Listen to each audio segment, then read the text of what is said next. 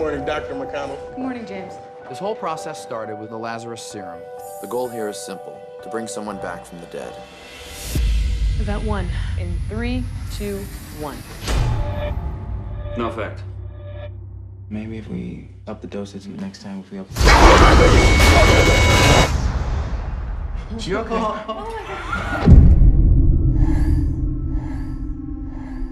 Oh, you are playing God with a bunch of dead animals.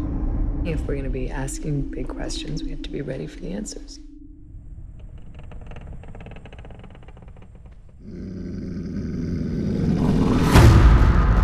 Whoa, that's too much neural activity.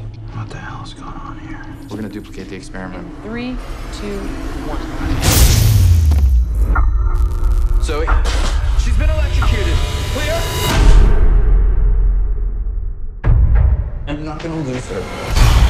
You're talking about bringing someone back from the dead. No, no.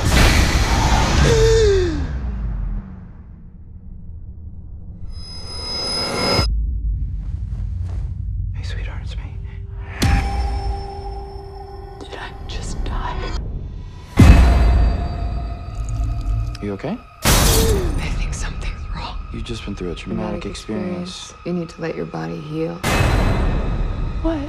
It's not Zoe in there. I went somewhere. That was a dream. It was hell.